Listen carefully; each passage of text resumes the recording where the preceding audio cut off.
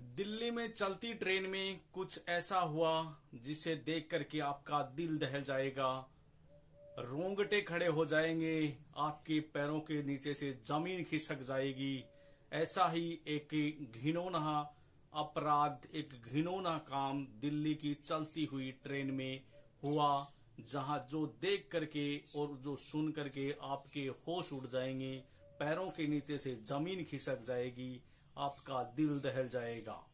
दरअसल बात कर रहा हूँ मैं दिल्ली और जो पुरानी दिल्ली और शाहदरा रेलवे स्टेशनों के बीच ऐसी वारदात हुई, जिसे देख करके, सुन करके आपके होश उड़ जाएँगे। आपके पैरों के नीचे से ज़मीन खिसक जाएगी। मामला कुछ ऐसा है कि शाहदरा रेलवे स्टेशन और पुरानी दिल्ली रेलवे स्टेशनों के बीच एक महिला 32 वर्षीय महिला ट्रेन में यात्रा करती है। महिला डिब्बे में पाँच महिलाएँ यात्रा कर रही थी, लेकिन उनमें से चार जो महिलाएँ थी, वो शाहदरा रेलवे स्टेशन उतर जाती है। वहाँ से तीन युवक उस डिब्बे में सवार हो जाते हैं। तीनों युवकों का एक ही मकसद था कि लूटपाट करना। वो लूटपाट के मकसद से उस डिब्बे में घुसते हैं, उस डिब्बे में सवार हो जाते हैं और उनका मकसद एक ही था कि लूटपाट करनी है। लेकिन दो युवक होते हैं, वो उस महिला का बैग छीन करके फरार हो जाते हैं। उनमें से एक युवक था, उसका इरादा कुछ अलग ही था। इरादा भी ऐसा कि सुनकर के दिल दहल जाता है। ऐसे लोगों को किस तरह से लोग सोचते होंगे, वो उसने क्या सोचा होगा देख करके, क्योंकि उस जो महिला डिब्बा था, उसमें सिर्फ़ एक ही महिला थी। क्योंकि उनमें चार थी, वो सहद्रा रेलवे स्टेशन उतर गई थी, फिर एक ही महिला उसमें सवार कर रही थी। वो जो युवक था, वो उस महिला के साथ मारपीट करता है, उसके साथ बलात्कार करता है ऐसी घिनौनी हरकत को अंजाम देता है। लेकिन महिला उसे संघर्ष करती है। जब महिला को संघर्ष करते हुए देख करके वहाँ दो बीच जो स्टेशन आता है, वहाँ से दो पुलिस के कर्मचारी जो कांस्टेबल होते हैं, वो उस ट्रेन में सवार हो जाते हैं।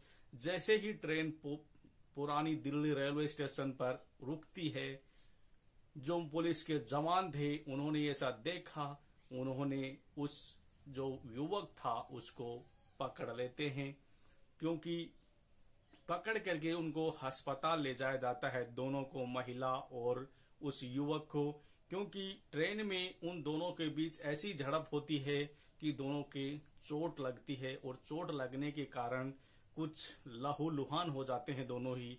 इसलिए दोनों को अस्पताल ले जाया जाता है और अस्पताल ले जा करके दोनों का उपचार किया जाता है। उपचार करने के बाद युवक का पुलिस पकड़ लेती है, क्योंकि युवक ने जो घिनौना काम किया था, वो उनको पता चल जाता है, क्योंकि जब महिला को अस्पताल ले जाया जाता है तो उसका मेडिकल किया जाता है, और मेडिकल में बलात्कार की रिपोर्ट आ जाती है।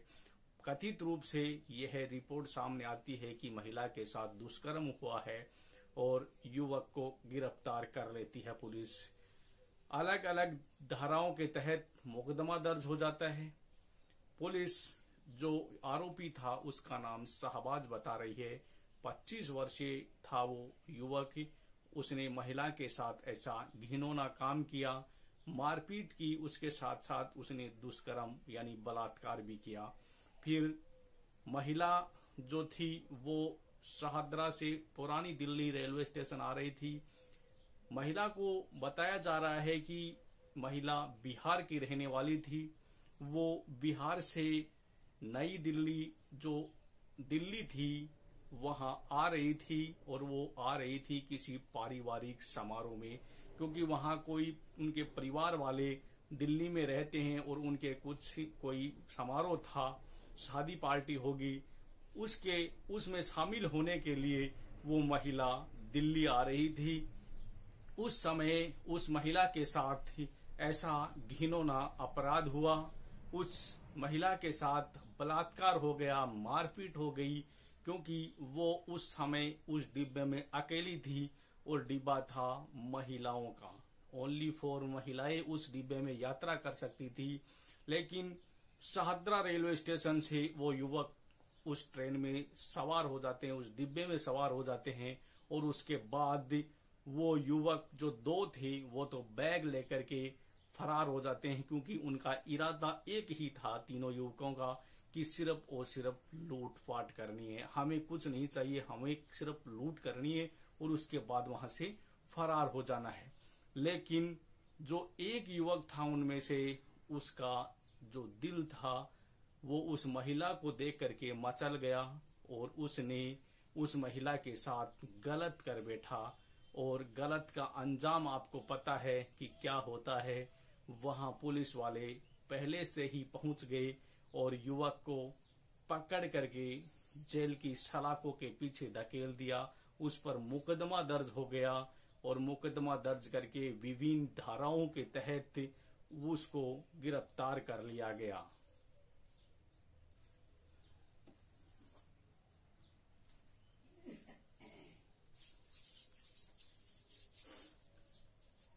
गिरफ़्तार कर करके उस जो युवक था, उसको पुलिस ले गई और महिला को वहाँ से उसके जो जो शिष्य समारोह में जा रही थी महिला, वहाँ पर उस महिला को छोड़ दिया जाता है। महिला ने बताया कि महिला एक शादी समारोह में जा रही है। उनके परिवार वाले यहाँ दिल्ली में कहीं रहते हैं, किस इलाके में? तो महिला ने वहाँ जाने के लिए कहा कि मैं वहाँ जा रही थी। इसी बीच मेरे साथ ऐसा हादसा हुआ। लेकिन कहते हैं ना कि रास्ते में हम सोच के कुछ आते हैं घर से, लेकिन रास्ते में क्या हो जाता है किसी को कोई पता नहीं होता है। वही काम उस महिला के साथ हुआ। उसने सोचा नहीं था कि उसके साथ ऐसी घिनौनी हरकत होगी। ऐसा काम उसके साथ होगा। वो तो एक शादी समारोह में, एक पारिवारिक समारोह में जाने के लिए बिहार से दिल्ली आ रही थी, लेकिन उसे क्या पता था कि बीच रास्ते में उसके साथ इतनी बड़ी वारदात हो जाएगी, इतना बड़ा घिनौना काम हो जाएगा, उसने कभी सोचा भी नहीं होगा। ऐसा सुनकर के परिवार वालों पर क्या बीतती है, वो उनके परिवार वाले ही जानते हैं। दिल दहल जाता है जब ऐसी घिनौनी हरकतें सुनते हैं, जब ऐसा घिनौना काम होता है तो दिल दहल जाता है, पैरों के नीचे से ज़मीन खिसक जाती है, रोंगटे खड़े हो जाते हैं। जब ऐसी वारदातें हम सुनते हैं, देखते हैं तो और वही उस महिला के साथ हुआ तो उनके परिवार वालों पर क्या बीती होगी? क्या उनके परिवार वालों ने वो सहन किया होगा? ऐसा काम किसी भी महिला के साथ अगर होता है तो परिवार वालों के ऊपर बहुत बुरी बीतती है। रोंगटे खड़े हो जाते हैं दोस्तों, ऐसी जो घिनौनी हरकतें होती हैं, जो लोग होते हैं, हवस के शिकारी होते हैं, वो ऐसा काम तो कर देते हैं, लेकिन उनको ये पता नहीं होता है कि इस महिला के घर वालों के साथ, इस महिला के साथ क्या बीतेगी, क्या इसके घर वाले सोचेंगे, उनके दिल पे क्या बीतेगी, इस महिला का क्या हाल होगा, वो कुछ नहीं सोचते हैं, क्योंकि वो हवस के पुजारी होते हैं और उनका काम सिर्फ़ एक ही है कि अपनी हवस मिटाने का काम। बस ओनली फॉर अपनी हवस मिटाने के लिए वो ऐसा काम करते हैं। उनका काम है सिर्फ़ पाँच और दस मिनट का, लेकिन महिला की ज़िंदगी खराब हो जाती है। घर वालों के ऊपर क्या बीतती है? क्योंकि समाज दुनिया वाले जीने नहीं देते हैं। एक तरफ़ दुनिया कहती है कि उनके साथ ऐसा हुआ, लेकिन पीठ पीछे दुनिया बहुत बुरे बुरे सवाल खड़े करती है कि क्या पता क्या हुआ होगा इसके साथ। ये किस लिए गई होगी? ऐसे घिनौने बातें होती हैं और वो सहन करनी पड़ती है महिला और उसके परिवार वालों को, क्योंकि लोग सिर्फ़ उंगलियाँ उठाना जानते हैं, उनको पता नहीं है। जिस पर बीतती है, उन्हें पता होता है कि क्या हुआ है। और दर्द क्या होता है पता है? जिस पर बीतती है, उसे ही पता होता है दोस्तों, क्योंकि अंगुलियाँ तो हर कोई खड़ी कर लेता है। उन्हें क्या पता कि इस पर क्या बीती होगी? किस तरह से इसने वहाँ वो सफ़र तय किया होगा? लेकिन समाज के लोग इस चीज़ को नहीं देखते हैं। सामने हमारे कुछ बोलते हैं और पीठ पीछे हमारे कुछ बोलते हैं। तो ऐसे वैसी दरिंदे होते हैं जो ये नहीं सोचते हैं कि इसके साथ क्या होगा, क्या बीतेगी, क्या इसके घर वालों को सहन करना पड़ेगा, लेकिन हवस के पुजारी सिर्फ़ एक ही चीज़ जानते हैं, और वो जानते हैं अपनी हवस मिटाना। अपनी हवस मिटाने के लिए दरिंदे क्या क्या कर बैठते हैं, वो उनको ही पता है कि वो अपनी हवस मिटाने के लिए कैसी कैसी हरकतों को अंजाम दे देते हैं। उनको यही पता नहीं होता है कि यह अंजाम जो हमने ये किया है गलत, इसका अंजाम क्या होता है, वो अंजाम की परवाह ही नहीं करते हैं। उनका काम है सिर्फ़ और सिर्फ़ हवास मिटाना और वो उन्होंने उस महिला के साथ किया, जो शादी समारोह में जा रही थी, किसी पारिवारिक समारोह में, और उसने ऐसा काम कर दिया तो वो महिला कहाँ जाएगी? तो दोस्तों, ऐसे लोगों से सावधान रहना चाहिए। जब हम सफ़र में जाएँ तो ऐसी चीज़ से सावधान रहना चाहिए क्योंकि रास्ते में हमारे साथ क्या होता है, किसी को पता नहीं होता है और क्या से क्या हो सकता है, हम सोच भी नहीं सकते। उस महिला को क्या पता था कि उसके साथ ऐसा भी हो जाएगा? वो तो एक पारिवारिक समारोह में जाने के लिए जा रही थी। उसको थोड़ी पता था कि वो रास्ते में उसके साथ ऐसा भी हो सकता है। तो किसी के साथ भी ऐसी दुर्घटना घट सकती है। तो सावधान रहे, सेफ़ रहे और ध्यान रखे अपना